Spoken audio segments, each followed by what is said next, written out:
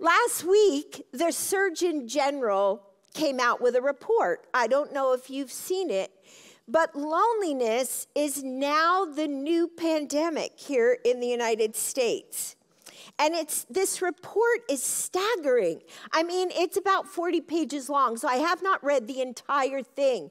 But loneliness is the feeling of being disconnected and we are living in a culture where many people feel disconnected. In fact, in this report, it said that one uh, uh, that about half of Americans cannot name three people that they are close friends with with whom they can confide. That's staggering when you think of it.